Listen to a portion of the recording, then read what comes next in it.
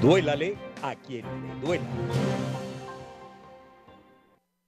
Vamos de inmediato, amigas y amigos, a realizar una información destacada en eh, la plataforma digital Infobae y que tiene que ver con la reiteración ya del propio régimen dictatorial de Venezuela, del propio eh, dictador Nicolás Maduro, del cómo Venezuela va a ser una de las sedes más importantes para la negociación que los comandantes del Ejército de Liberación Nacional van a tener con los designados por el presidente de Colombia, Gustavo Petro. Vamos a ver el eh, tema de Infobae en pantalla, pero yo te pediría que antes que nada, mi querida productora, te vayas a la fotografía donde están reunidos en la mesa y allí en el acto que tuvo lugar en la casona, antigua sede Mm, hogareña de los presidentes democráticos de, Venezuela.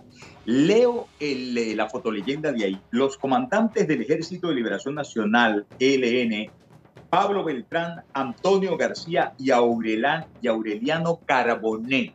Les he nombrado estos eh, a estos sujetos porque más adelante, para poner las cosas en contexto, porque recuerden que aquí no cometemos el pecado de que las cosas por sabidas se callen y por calladas se olviden, vamos a recitar a estos señores. Repito, Pablo Beltrán, Antonio García, el comandante máximo, que lo escuchamos ayer, y Aureliano Carbonell.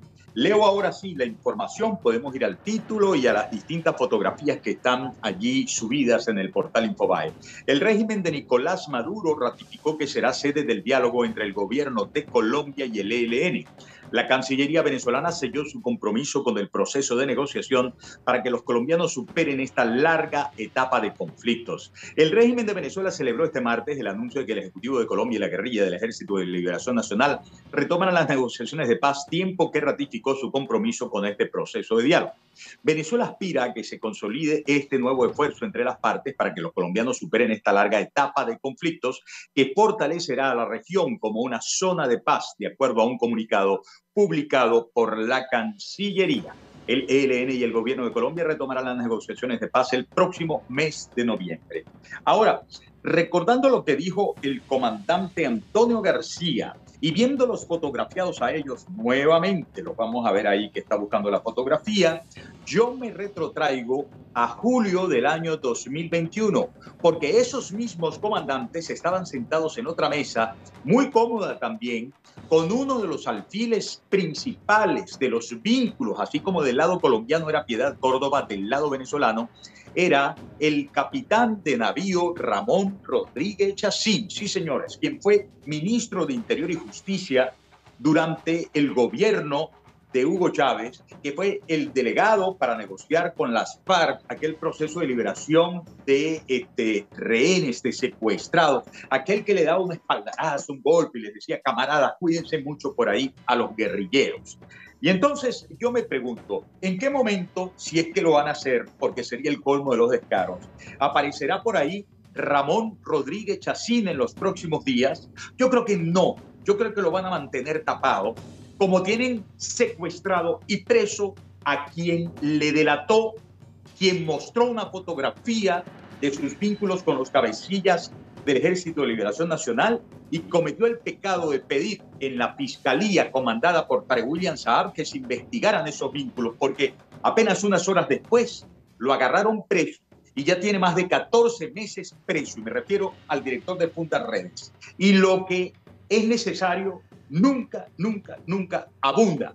Así que vamos, a julio de 2021 y recordemos ese momento y la exposición de esa fotografía de Rodríguez Chacín con estos cabecillas que se pavonean y encabezan las mesas allí en la residencia, ex residencia oficial de presidentes en Venezuela. Vamos a ese video, adelante. La relación directa que hay entre el Estado venezolano y representantes de quienes ejercen el poder en el país y los grupos terroristas del ELN y de las FARC.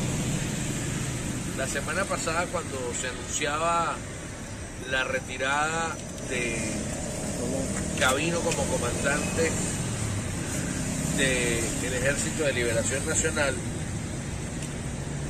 pues nosotros nos preguntábamos si la relación comercial, si la relación política si las operaciones en pistas clandestinas, las operaciones en laboratorios de procesamiento de droga, la explotación de oro, diamante y coltán, también se van a paralizar. El Ejército de Liberación Nacional tiene presencia en 21 entidades del país. Esta, por ejemplo, es una fotografía del almirante Rodríguez Chacín y el señor Gavino. La pregunta es si él se retira, se retira de cuáles operaciones, ¿no? De cuáles son las operaciones que se retiran. Porque en esta fotografía, por ejemplo, nosotros mostramos acá la presencia de los tres cabecillas del Comando Central del ELN reunidos nada más y nada menos que con Rodríguez Chacín y con Carola de Chacín, la esposa de este exministro del gobierno venezolano.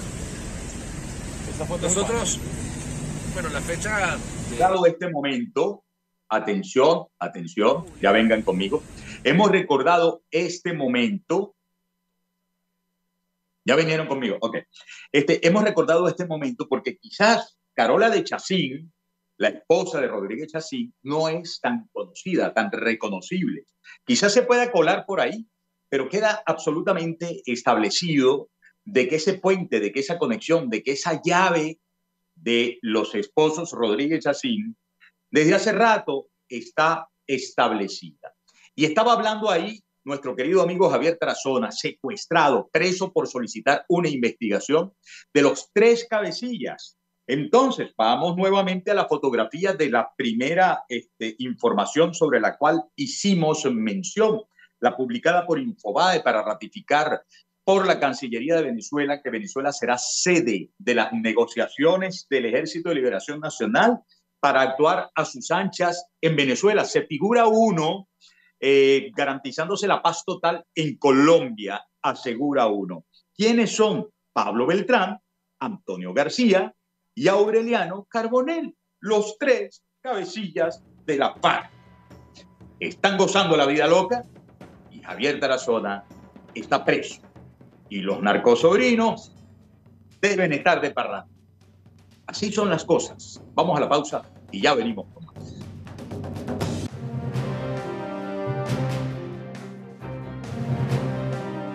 Duélale a quien le duela.